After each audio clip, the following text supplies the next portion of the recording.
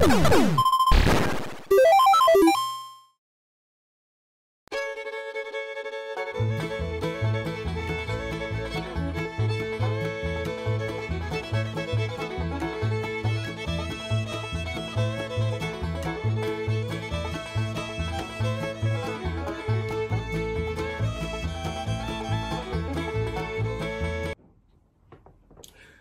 おはこんばんちは、白石みのるでございます。さあ、えー、今回もですね、えー皆様に、えー、白石みのるおすすめの食品をですね、えーご紹介していきたいなと思うんですけれども、まあ、今年の夏も、あれですね、暑かったですね。まあ、こんな暑い日はですね、えー、体力がつくというか、まあ、パワーの源である、うなぎとかね、食べたいなと思うんですけれども、まあ、最近ね、うなぎも高いですよ。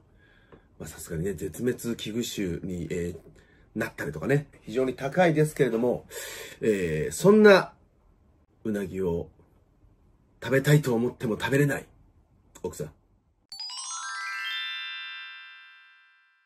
そんな奥さんのために素晴らしいものをご用意しました。こちらをご覧ください。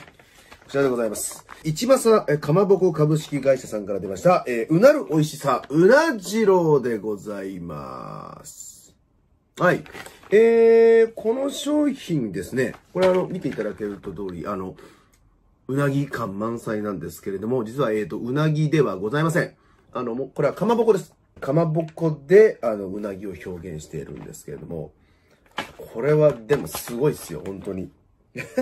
ちょっとびっくりしますよ。ものすごく細かく作ってます。しかも、あのーこの、えーうなじろうなんですけれども、最近ですね、この2020年になってから、あの、うなぎフリーになりました。うなぎフリーって何言ってんだと思うかもしれないんですけれども、あの、これまででもですね、実はうなじ、あの、こちらの一正さんはですね、あの、このうなじろうを作っていたんですけれども、それまではうなぎエキスを入れて、作っていたんですが、えー、4月だったかな？えー、今年に、えー、2020年に入ってからですね、なんとその、うなぎエキスを、えー使うことなくですね、このうなぎの、かば焼きの、えー味を再現したということで、うなぎフリー宣言を、えーなさっておりました。これあの、SNS とかでも一時期話題になったかと、えー思うんですけれども。というわけで、えー今回はですね、こちらのうなじろうを皆さんにご紹介したいと思います。それでは早速、えー調理していきましょう。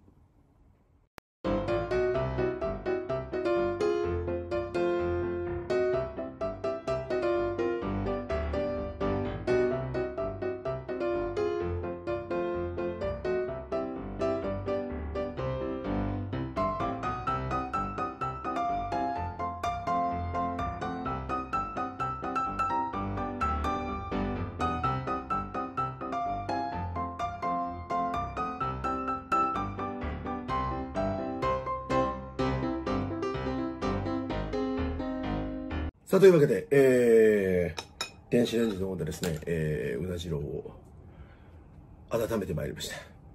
さあ、どんな感じになってるんでしょう。ね。これですね。こちら開けてみますよ。シュンデレンデレンデンデンデンよっ。あ、いい香り。いい香りですね。ご覧ください。こちらです。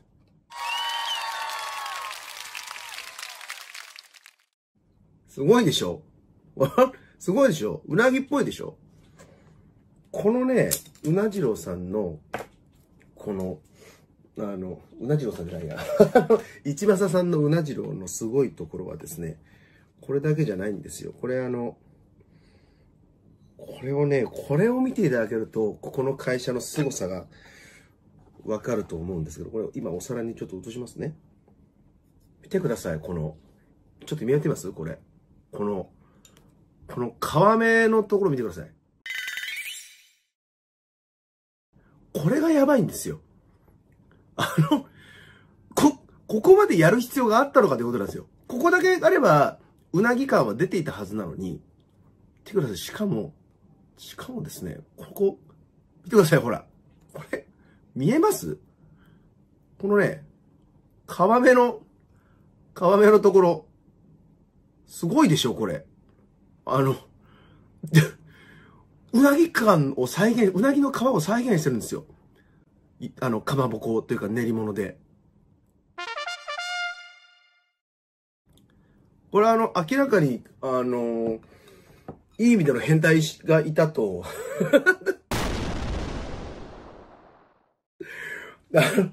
ね、うなぎを絶対、絶対再現してやるんだっていう、あの、あの、変態がいないと絶対、あの、こんな、あの、素晴らしい商品は作れないはずなので。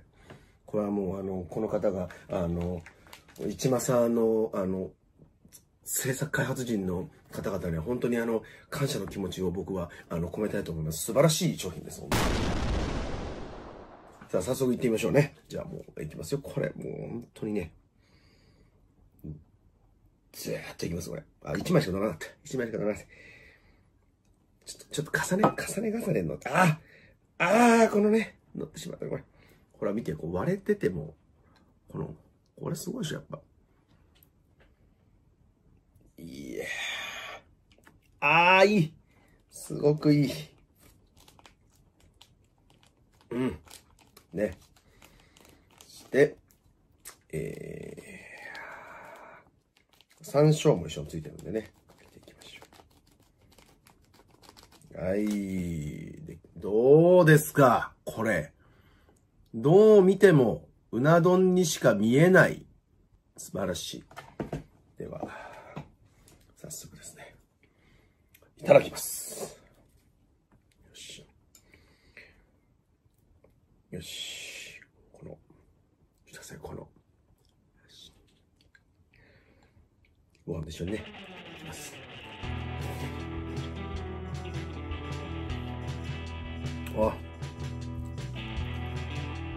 素晴らしい。ちょっと本当にうなぎ食べてる気持ちになりますよ、これ。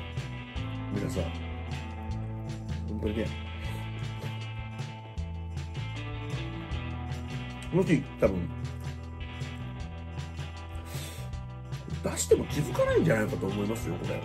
よっぽど、よっぽどその察しのいい人じゃないと。うん。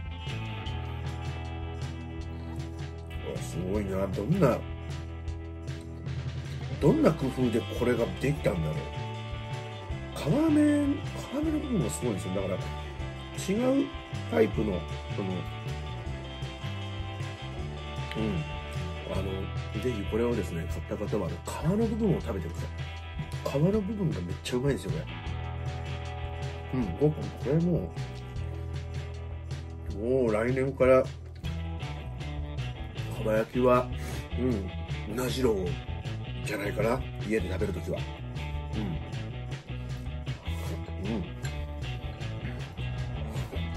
うん。うん。あ、うまい。マジ、マジでうめえ。いや、よくないなこの商品はよくないな美味しいよ。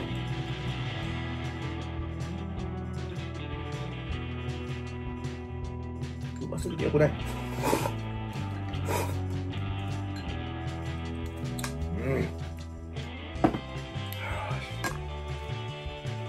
ごちそうさまでしたはいさあ、えー、というわけでございまして、今回、えー、ご紹介した商品は、えー、一正さんの、えー、うなじろうをご紹介いたしました、えー。非常にですね、美味しい商品でございますので、ぜひ皆さんもこの動画を見て興味を持たれたら、えー、ぜひお家で一度食べてみてはいかがでしょうか。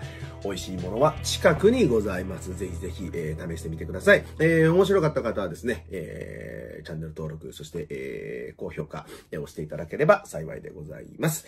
というわけでございまして、えー、終了でございます。皆様またお会いいたしましょう。バイバイ。